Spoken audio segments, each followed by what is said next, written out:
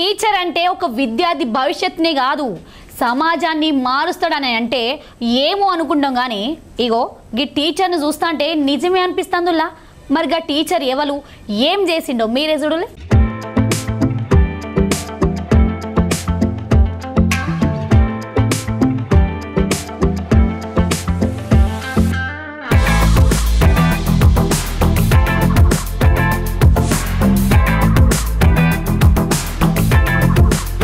ఇగో గిడ గానొస్తున్న sir sir గురించి ఇప్పుడు మనం చెప్పుకునేది సారు పేరు జగదీష్ కూడే మహారాష్ట్రలో ఉన్న శ్రీరామ్ తాండాల్ ఆ ఉపాధ్యాయునిగా కొలువు చేస్తాడు. రెండు వేల నాలుగు సంవత్సరం నుంచే గిడ పిల్లలకు పాఠాలు చెప్తాడట. అయితే ఈ ఊళ్ళో పిల్లల అయ్యా వాళ్ళు ఎక్కువ శాతం చెరుకు తోటలో పని చేసేటోళ్ళట. అట్లనే పని కోసం చాలా మంది వలస పోయేదట ఈ ఊళ్ళోకెళ్ళి. పిల్లల అయ్యా వాళ్ళు వలస బాట పట్టుడుతోని పిల్లల చదువులు సుత ఆగమయ్యేదట. గందుకే గిట్లయితే కాదని చెప్పి పిల్లల అయ్యా వాళ్ళని కలుచుడు మొదలుపెట్టిండు ఈ సారు. మీరు పోతే పోలి కానీ పిల్లని సుత మీతో తోలుకపోతే రేపు వాళ్ళు కూడా పెద్దగైనాక మీ లెక్కనే వలసపోతారు. గదే మంచిగా చదివితే పెద్ద పెద్ద కొరువులు చేస్తారని వాళ్ళకి అర్థమయ్యేటట్టు చెప్పిండు. ఇక పిల్లలు అయ్యవలసి సుత సారు మన మంచిగా చెప్తాడని వాళ్ళు వలసపోయినా కూడా పిల్లను మాత్రం బడికి పంపేదట.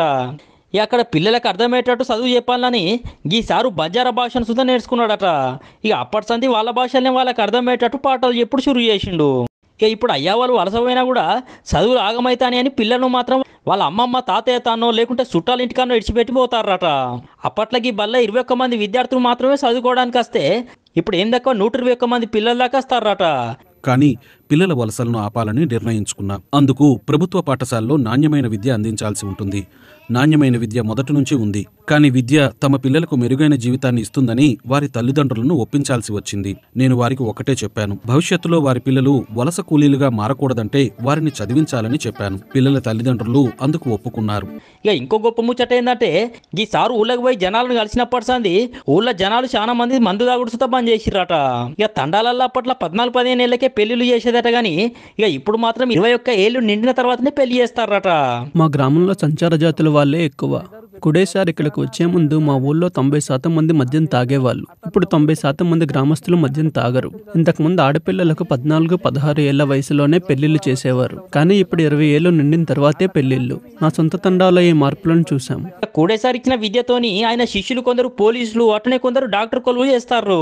తండా మొత్తాన్ని మార్చిన ఈ సార్కు మహారాష్ట్ర సర్కారు రెండు వేల పదిహేడు సంవత్సరంలో ఉత్తమ ఉపాధ్యాయుడు అవార్డుని ఇచ్చింది.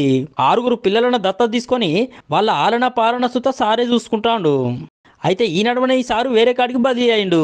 చాలా మంది విద్యార్థులు అట్లనే వాళ్ళ అయ్యవ్వలు అరే మా కూడే సార్ పోతానని మస్తు రంది పడ్డారు. ఇక ఎన్ని రోజులైనా బదిలీ మీద పోవాల్సిందే కదా. మీరైతే ఊరును మంచిగా చూసుకోవాలని చెప్పి ఆడికెళ్ళి వెళ్ళిపోయిన ఈ సారు ఆడితో తోలాజీ అనే ఊళ్ళున్న బడికి వేయండు ఇక ఈ ఊరును సుత బాగు చేస్తాడనే కావచ్చు. సర్కారు సారును ఇక్కడికి బదిలీ చేసింది.